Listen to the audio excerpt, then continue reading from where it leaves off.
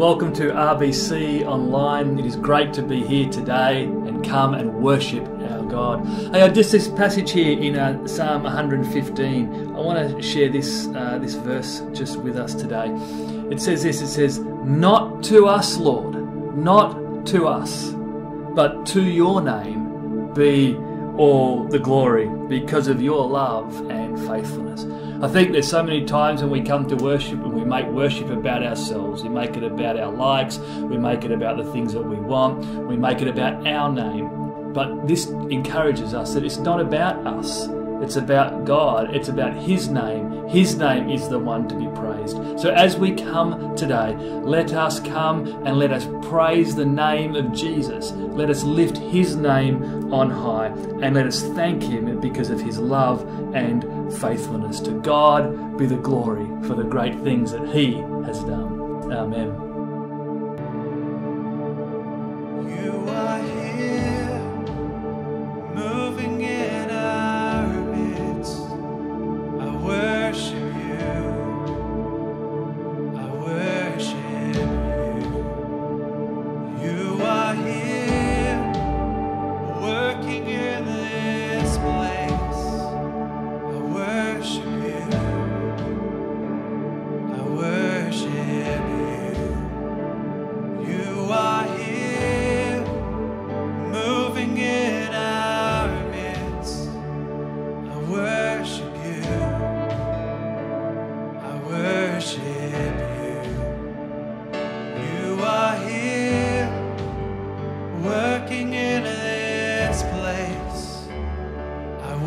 Worship you.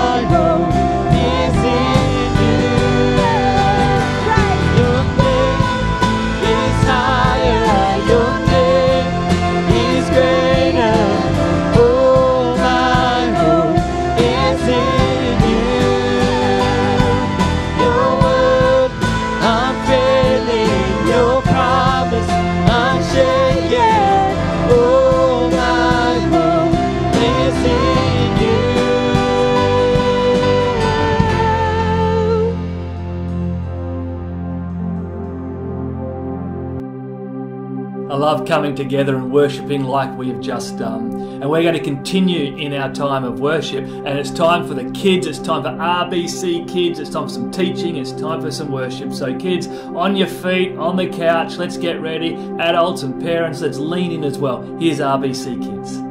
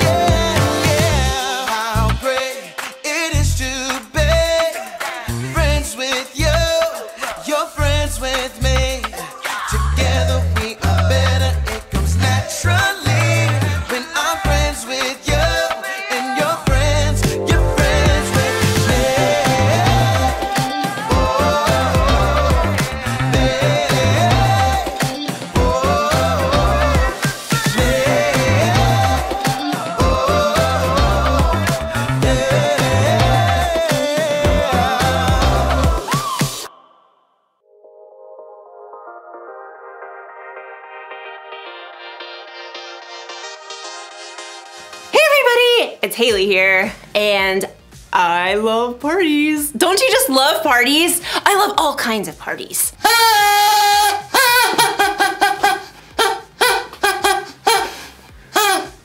birthday parties! Happy birthday to me, happy birthday to me, happy birthday dear Haley! Happy birthday to me! And who doesn't love a good block party? Beanbag toss! Sorry.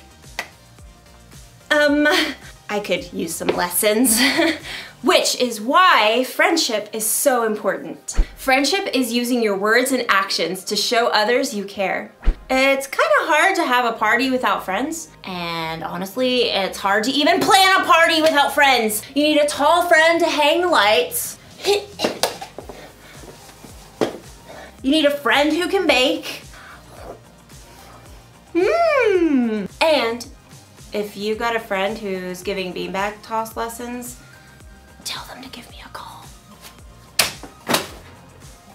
The point is, we need friends, and friends need us. And in today's story, we're gonna talk about what makes a friend a friend.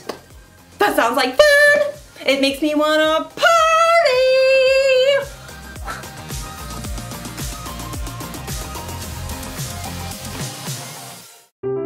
The Bible. It's 66 books of history, stories, letters, and poetry that fit together to form God's one big story. The epic adventure of how He created us and loves us so much that He made a way to rescue us.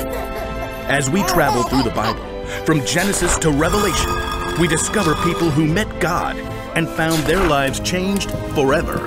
Now, for an amazing story, inspired by the book of Ecclesiastes, chapter 4, verses 9 through 12. The writer of Ecclesiastes tells us two people are better than one.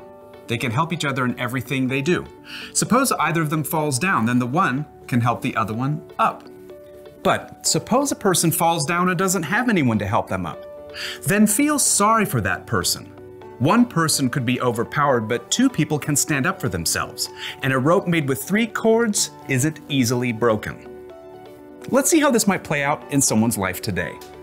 Jackson slid into the small school theater and took a seat in the back row and waited for Mr. Ray, the music and arts teacher.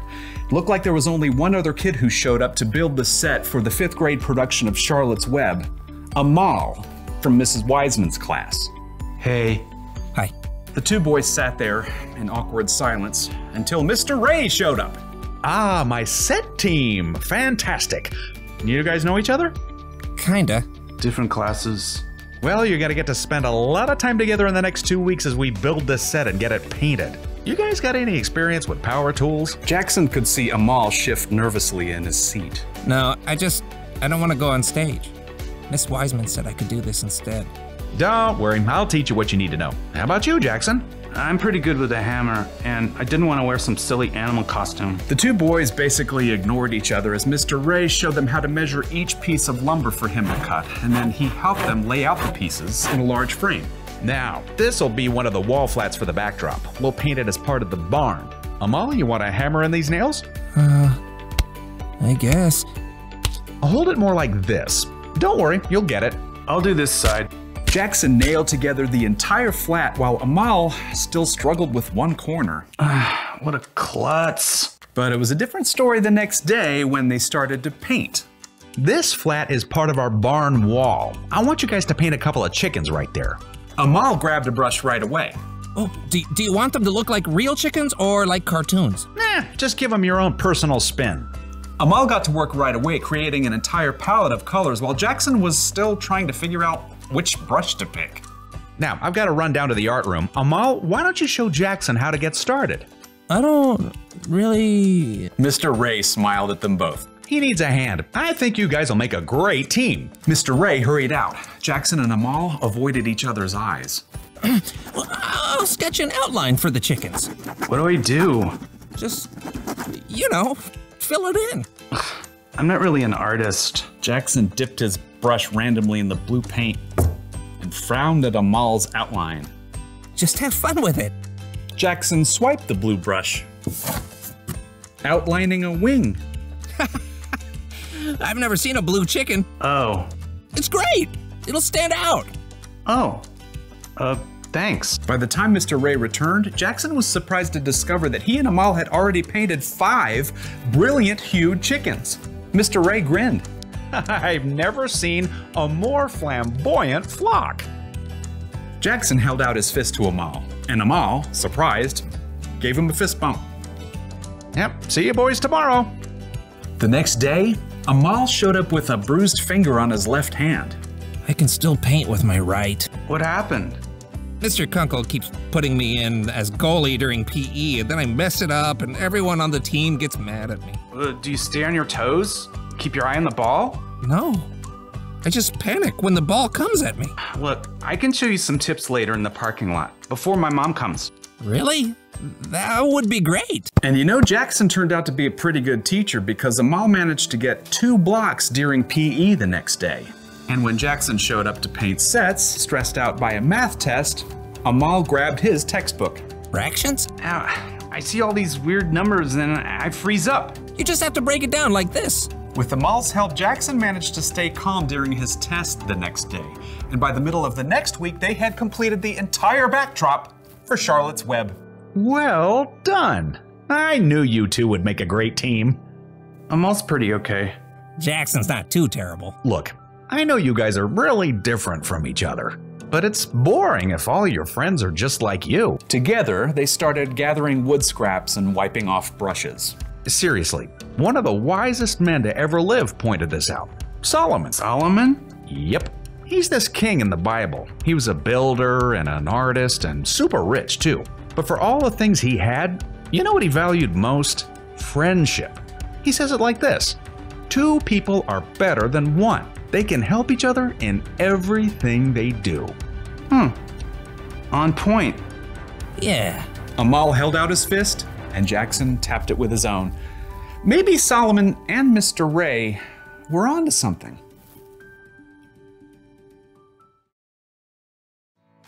Okay, here are four things you can learn from those verses in the book of Ecclesiastes. Number one, friends get more done when they work together, which makes a whole lot of sense. Planning a party goes a lot faster when I've got someone to help me out. Which brings me to number two friends help each other. A true friend doesn't just sit back and watch when it's obvious you need a hand. Little help! Little help here! Ah! Number three, friends stand up for each other. You better not be messing with one of my friends. I will totally fight you! Unless, you know, you're bigger than me, then I will not fight you. In which case, I will totally reprimand you with some carefully planned stern words. Just don't mess with my friends, okay? Uh, and number four, friends help you trust God. You may have a lot of different friends in your life, but a true friend, one that lasts, is the kind that helps you make wise choices. The kind of friend you can talk to about what you believe honestly, and who can help your faith in Jesus grow. So, here's the one thing to remember today choose your friends carefully. I think you should try to be a friend to everybody, whether it's a friend you choose or not. But when you're deciding who to spend most of your time with, you should choose carefully. Ask yourself Is my friend helpful? Would they stand up for me? Do they help me trust God more? And while you're at it, ask yourself this Am I a helpful friend? Would I stand up for others and help people trust God more? Hmm. When you want to find good friends, one of the best things you can do is to be a good friend. And never forget, that Jesus is your ultimate friend. He is always there for you no matter what. So, be on the lookout for good friends this week. When you choose wisely, you can't miss.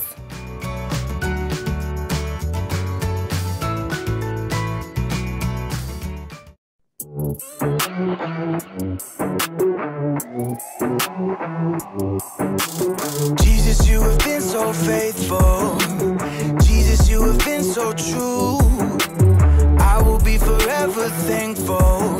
Cause I never had a friend like you. Help me to be who you've been to me, to everyone I see. Let us love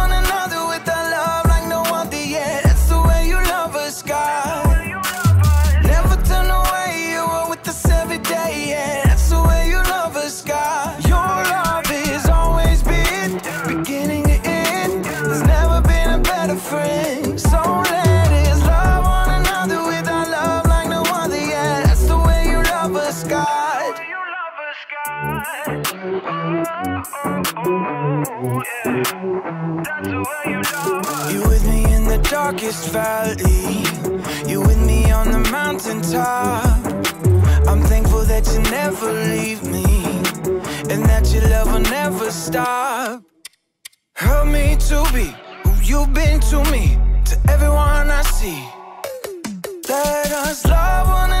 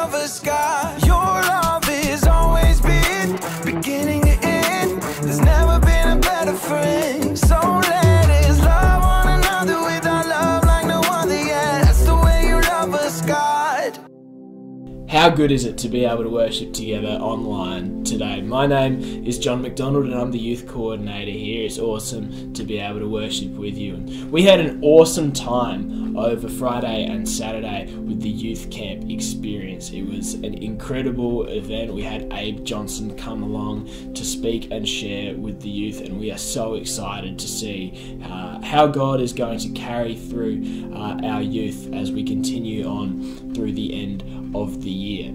Well, Operation Christmas Child is uh, is is ongoing at the moment, and it's an awesome opportunity for you to be a part in in God changing lives all around the world. Box collection date is October twenty fifth, uh, and yeah, it's it's an awesome opportunity. So make sure if you haven't already to grab yourself a shoebox from the hub uh, and just put some gifts in there. We're going to collect them uh, during the service on October twenty fifth and they're going to go out uh, to, to, to people who, who won't usually be able to get uh, Christmas presents and, and, and these these gifts even though that they're small they they really do uh, have a huge impact in, in changing people's lives. So it's an awesome thing. Remember box collection date October 25th well we are now going to come into a time of offering. And I just want to share a passage from 2 Corinthians uh, 9 that says, Remember this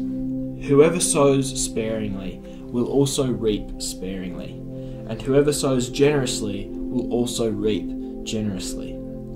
Each of you should give what you have decided in your heart to give, not reluctantly or under compulsion, for God loves a cheerful giver. And God is able to bless you abundantly, so that in all things, at all times, having all that you need, you will abound in every good work. As it is written, they have freely scattered their gifts to the poor, their righteousness endures forever. This time of offering, it's it's not out of a, a compulsion or regret to give. We're not giving because we need to or we feel like we should. We should be joyful in our giving, knowing that we are playing a part in seeing God's kingdom grow in this place. Uh, the uh, options to give uh, will be on the screen now, and you can click the uh, the button to give. And right now, as we as we uh, take up our offering, let me pray. Father God, thank you so much for all that you have given us. Thank you that you love us so much that you would create us, that you would send us a Saviour in Jesus, that you would give us hope, that you would give us life. And Father God, as, as we give to you now, we want to give joyfully. We want to give joyfully to see your kingdom grow in this place. And we pray that you bless our giving in Jesus' name. Amen. Well, it's now time to grab out your Bibles, your notepads, and your pens as we continue in our sermon series and stories of hope.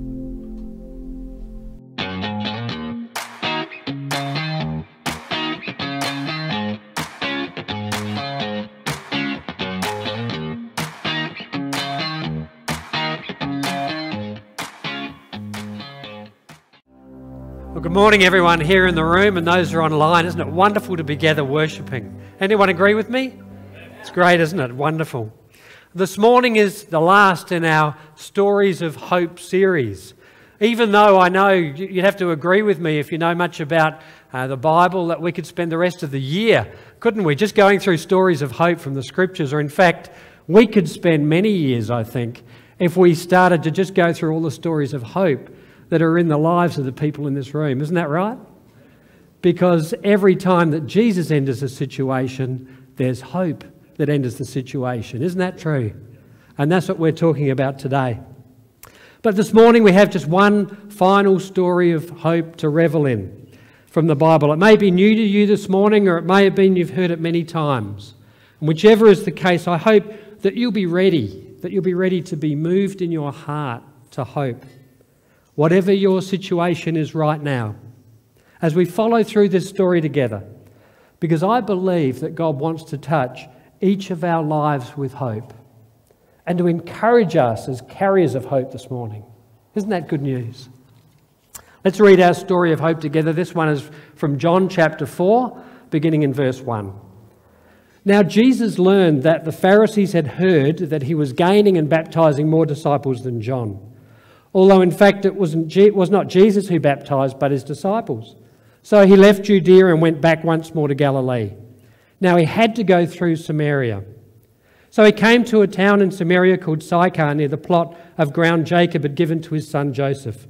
Joseph Jacob's well was there, and Jesus, tired as he was from the journey, sat down by the well.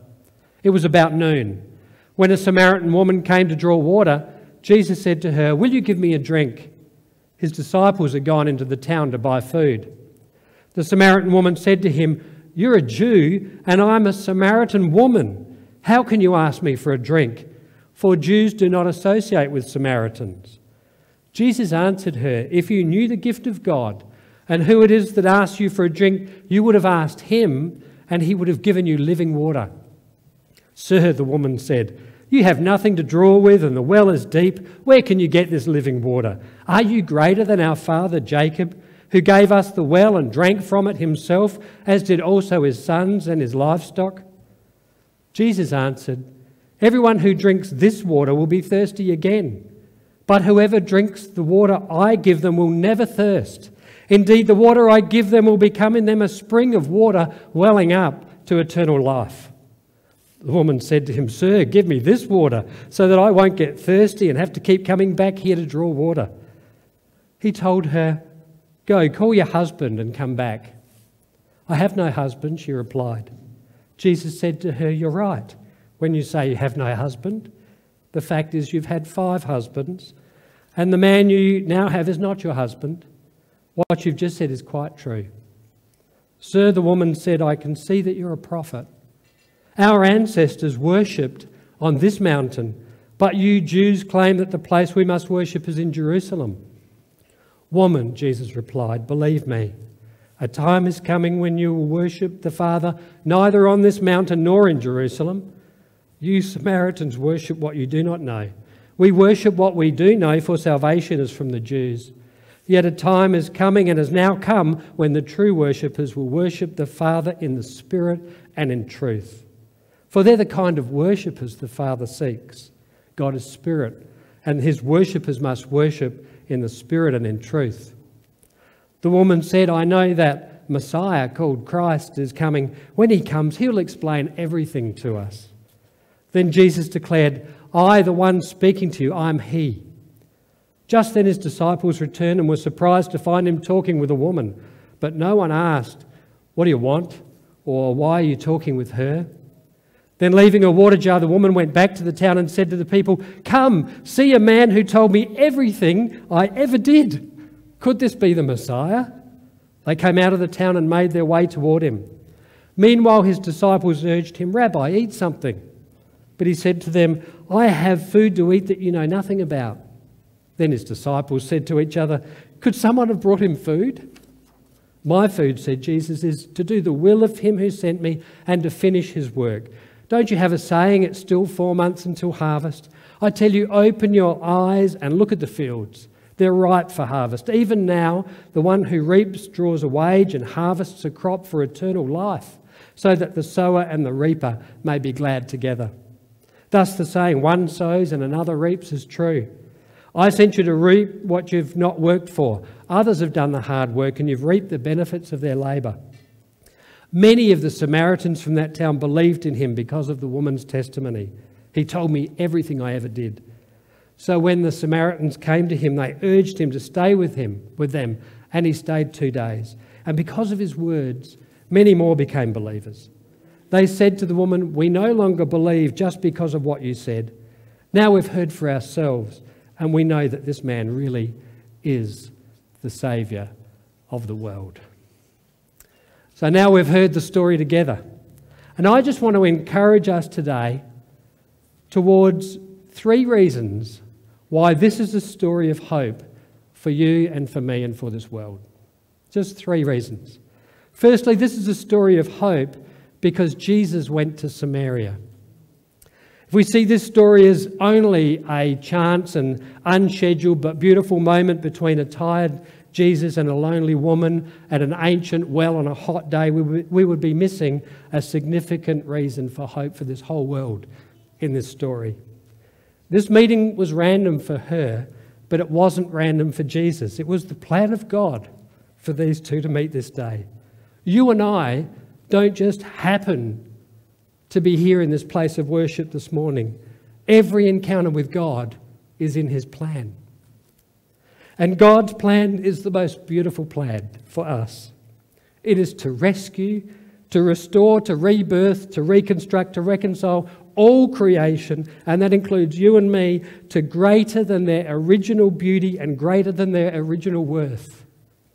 Ephesians 1 9 to 10 puts it like this He made known to us the mystery of His will according to His good pleasure, which He purposed in Christ to be put into effect when the times reach their fulfillment, to bring unity to all things in heaven and on earth under Christ. Greater than our original beauty and greater than our original worth. And Jesus was working every day on seeing God's plan fulfilled. It was more important to him than eating, he says at the end of this passage. Lives were being blessed, people were being healed, souls were being cleansed, community was growing. But then, surprisingly, just when his prominence is rising in Judea, he's got a great ministry happening, baptizing more people than the amazing John the Baptist, who turned the whole country on its head. God's plan, not man's, meant Jesus travelling from the south near Jerusalem to Galilee in the north to spread the good news further under the leading of the Holy Spirit. And the problem seemed to be that was that between Judea and Galilee was Samaria, where our story is set today. You see, Samaria was not a place to go for a godly Jew. It was the quick way, but most Jews, especially those who considered themselves close to God holy, they'd take the alternative route by going around Samaria, doing anything they could to avoid going through Samaria. Now, the history of this went back hundreds of years to a time when the Babylonians conquered the southern kingdom of Judah. They took almost the entire population captive, exiling them to the Babylonian Empire. All they left behind were the lowest classes of society because they didn't want these lowly regarded people in Babylonia. So these poor people who were left behind got on with their life and they intermarried with other non Jewish peoples who came slowly into the region, and the Samaritans emerged as an ethnic and religious group. Samaritans had a shared heritage of faith with the Jews. They claimed Abraham and Isaac and Jacob as their fathers, but they only accepted the first five books of the Bible as true, and their faith had become mixed with a concoction of other superstitious, superstitions and religious ideas. Sounds like a lot of the world today to me. The Jews in Jesus' time despised them, and they avoided them even more they would avoid Gentiles. That's why the parable of the Good Samaritan of Jesus is such a powerful and provocative story. Feelings ran so deep between them. For example, for the Jews, as we heard in the passage, Jews worshipped on in Jerusalem. The Samaritans had built their own temple to God on Mount Gerizim. But the Jews had done the neighbourly thing and burned it down in about 128 BC. That's why the woman says, Our ancestors worshipped on Mount Gerizim. It was fair to say there was no love lost between these people groups. And John says Jesus had to go, needed to go, was determined to go through Samaria. That tells us a lot about our God, doesn't it? Why? Because Jesus had tremendous hope and a plan for these people who everyone else had written off. That is a reason for hope for us all and for this world this morning. When everyone else has given up, Jesus always has hope and a plan of restoration. And friends, he still has today. Verse 5 says So he came to a town in Samaria called Sychar near the plot of ground Jacob had given to his son Joseph. Jacob's well was there, and Jesus, tired as he was from the journey, sat down by the well. It was about noon. Jesus came to Jacob's well, where so long ago Jacob bought this very land and built an altar to God and called it El, Elohi Israel. That's great, um, great Hebrew there, isn't it? Was that good Hebrew? Mighty is the God of, he, of Israel. Jacob sent a well in that place, a well of blessing, of God's blessing, and that well gave water. It gave so much water as the Jesus, as the woman reminded Jesus. All of Jacob's sons, and I guess their families, and all his flocks and his livestock, they could all drink from it. Now that is some well, Jacob's well. And the woman said, "Do you really think you can give something greater than that, Jesus?" And you know, we know that's exactly what Jesus was there to give something greater than that, to fulfill in the lives of these people what Jacob's well was only ever a picture of the living water of full life welling up through relationship with Jesus Christ. Don't believe for a minute that Jesus was at Jacob's well by accident. He was there as he is with us today as part of his plan of God to restore, to heal, and reclaim what belongs to him. And friends, everything belongs to him. You belong to him. And to bring life. These Samaritans, people who had not heard from God for so, so long that his voice was only a vague and confused memory. These people who had wandered so far, these people who everyone else had given up on, Jesus was here to heal and restore and to reclaim and to satisfy their thirst for life, real life. And He's here today for the same reason. At a time when they weren't expecting it, Jesus, their Messiah, came into their lives and He came to bring them not condemnation, not subjugation, but hope, wonderful hope, and life to the full. When we get to the end of this passage, we hear the joyful and hopeful cry of the people of Sychar this man is the Saviour. Not just for the Jewish people, but also not just for us, for the Samaritans. This man is the Saviour for the world. Their eyes had been opened and their hearts changed by the love and the grace and the hope that comes through Jesus to see that this whole world belongs to him and he's here to reclaim us all. This man really is the Saviour of the world, and this is reason for hope today for everyone who hears this message. The second reason this is a story of hope is because Jesus met with the woman at the well. we see here how God works. In God's plan, the world is changed one life at a time because every life matters. And so, as his followers, when we're tempted to think that in the world we live in at the moment, that to be part of God's plan, it's just too big a project. Jesus breaks it down to this just touch one life, as Dan said a few minutes ago. That's what I do, says Jesus. Just touch one life. Perhaps the only thing, excuse me, perhaps the only thing more shocking than that Jesus would go and touch and bless Samaria was the one person through whom he chose to fulfill God's plan. Jesus is sitting in the heat of the day, tired from the journey by Jacob's well. A woman comes to draw water from the well, and Jesus asks her for a drink. She's shocked. She's confused. Perhaps she's even fearful. She's alone, male to female, Jew to Samaritan, righteous to unrighteous, holy to very damaged life. Even for Jesus to touch the cup of a Samaritan would make him unclean. Yet he says to her, Give me your cup. And he enters into a discussion with her that reveals that he knows her. He knows her confusion. He knows her thirst. He knows her religious baggage, her relationship baggage. He knows her deepest thoughts. Remember when she went back to the village, she cried out, He told me everything I've ever done. Could this be the Messiah? Now, I guess that's a hyperbole, isn't it? He didn't sit there and tell her what she had for breakfast last Tuesday and all that sort of stuff, did he? But what it means is it shows that she felt her innermost self completely revealed in his presence, that nothing was hidden, but in a wonderful, life giving way. He saw her with compassion and understanding, not judgment, as though he were on her side in life, as though he were on her side in life. Isn't it a wonderful reason to, for hope to think that Jesus, when you're with him, it's like he's on your side in life? This is a story of hope for every single one of us because Jesus met with the woman at the well. It shows that the God of the universe is interested and compassionate and understanding about the universe inside each one of us. And I know there's a eh, universe, isn't there, inside of me, and there's one inside of you. Often of confusion, of misunderstanding, of all sorts of feelings. And Jesus cares, He understands.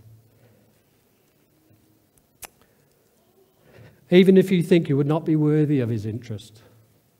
He's interested in you as though he's on your side in life. The last person before this that Jesus had spoken to in this intimate way was in John 3 was Nicodemus, the powerful male leader and teacher of all of Israel. And now Jesus shares in the very same way with her, with the same focus on her, the same respect for her, the same hope for her. One of the things I love about this passage is it shows that the Lord knows it all. Do you ever, like me, find yourself thinking, I'd like to be closer to God, but I know there are things that are, I'm thinking or things that are wrong in my life, and I've got to fix them first before I can come nearer to Him? Do you ever feel like that?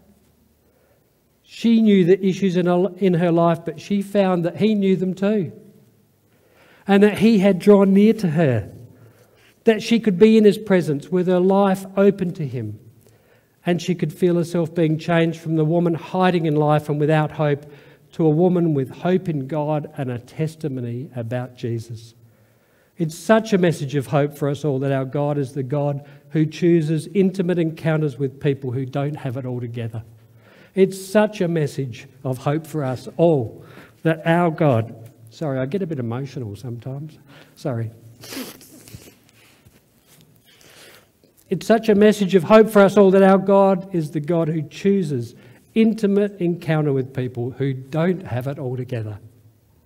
The one who wills that we give him our dirty cup of water. He already knows what's in it, filled with our problems, with our fears, with our doubts, to allow ourselves to be blessed and saved and restored and filled by him. This is a story of hope for us all today. And thirdly, this is a story of hope because Jesus offers us and her the living water first. I think this story is amazing in so many ways, but none more so than the order of Jesus' conversation. If you or I had met the woman at the well, knowing all the issues in her life, I wonder where we might have started the conversation. He asks her for a drink. She queries whether that's a good idea. And he says straight away, without hesitation, if you knew the gift of God and who it is that asks you for a drink, you would have asked him and he would have given you living water. Wow. That's what I love. I love this. If you knew who I am, you would ask, and I would give. Think about it in your own life. Jesus saying, If you knew who I am, you would ask, and I would give. I just find that amazing, don't you? If you knew who I am, you would ask, and I would give. And how many ways and situations might that apply in your life today? And especially if you knew the gift of God that is available living water, life to the full, pressed down and running over, life welling up to eternity like a bubbling underground spring that can never fail because it's actually the life of Jesus that will never fail. If you knew who I am, says Jesus, you would ask and I would give. I give freely and generously and with grace to those who ask. If you knew who I am, you would ask because you would know I am able. No matter what the need or how dry you are, even if you would look at this passage today and say, I shouldn't have run dry, he says, If you knew who I am, you'll ask and I'll give. He hasn't even got to saying he knows her theology is wrong, her culture is demonized, or that her personal life is riddled with issues. That would have most people just leaving her alone by herself at the well in the heat of the summer sun. He says, If you knew me, you would ask, and I would give. Grace overflowing, grace upon grace, as John says in chapter 1. That's what we receive through Jesus Christ. You see, it's the life of Jesus coming in that pushes out the bad stuff, that reorient, reorientates the compass of our lives, and that relieves the burden of guilt and regret. It's the water of Jesus welling up within us that quenches our thirst and fills us to overflowing with life. It starts and it continues with Him. He is our source. He's our well within. He never will run dry. He's our eternal well of life that will never fail. He's our story of hope today. This is as true whether it's our first encounter with Him or after many years. Open yourself to Him just as you are. If you're thirsty, if you're lonely, if you're worried, if you're far from Him, Open yourself to Him. We all know today who He is. The woman at the well has told us who He is. The whole town has told us who He is. He's the Saviour of the world. He's our Saviour. He's your Saviour. He's here for you. Ask, and He will give. This is our story of hope for you today. I want to just finish this time together in prayer, I wonder if we might stand together as we pray. We've had three, I think, amazing reasons for hope out of this story. I just want to give us opportunity to pray for each of those um, situations in our life where this might apply. Let's just close our eyes together. And firstly, I want to make this as an encouragement for any for whom an encounter with Jesus is new you identify this morning or today, whenever you're hearing this, as being like the woman at the well. You might have even been in church before, but you've never really encountered this Jesus. I just want to invite you to say in prayer, Lord Jesus, I give you my cup. It's a pretty dirty cup. But I also receive your gift, your beautiful free gift. Jesus, please Give me your living water. Come into my life, I pray, and we'll work all the rest out together. For others, and there might be many for whom, in some specific way, it applies to you when you hear the words, when you hear the Spirit saying the words of Jesus If you know who I am, then ask, and I'll give want to leave a moment now for you to ask whatever's on your heart today. Whatever you want to ask Jesus, you can ask Him right now.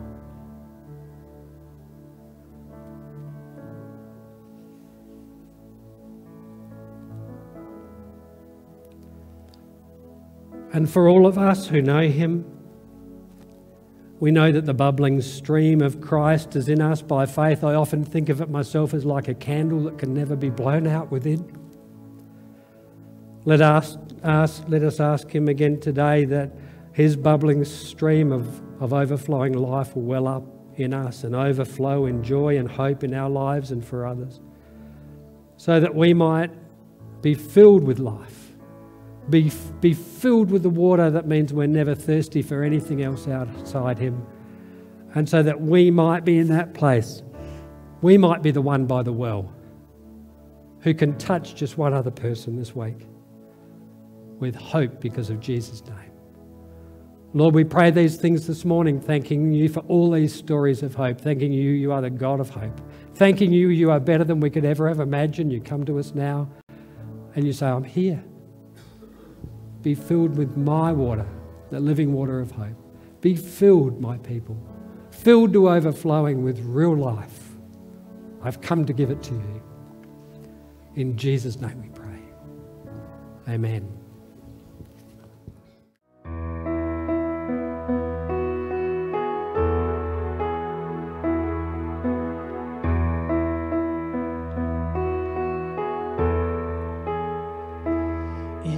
Darkness, we were waiting without hope, without light. Till from heaven you came running. There was mercy in your eyes to fulfill the law and prophets. To a virgin came the word from a throne of endless glory to a cradle in the dirt.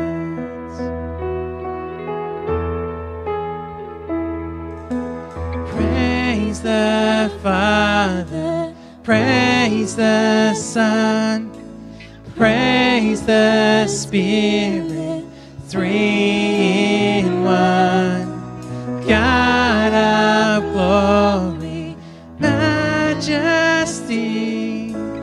praise forever to the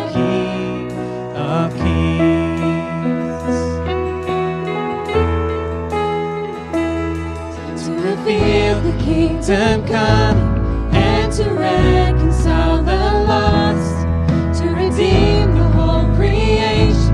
You did not despise the cross, for even in your suffering, you saw to the other side, knowing this was our salvation. Jesus, for our sake, you died. Let's praise Him today.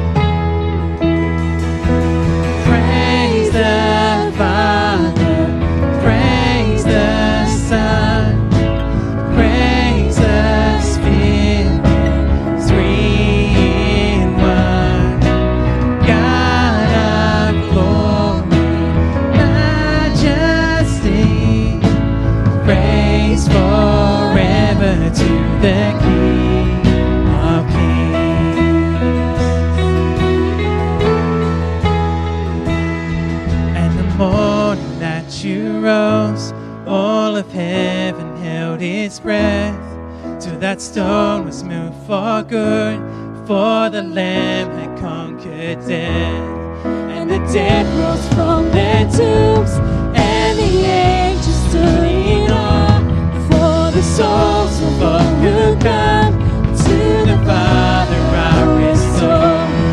And the church of Christ was born, and the Spirit the flame. Now this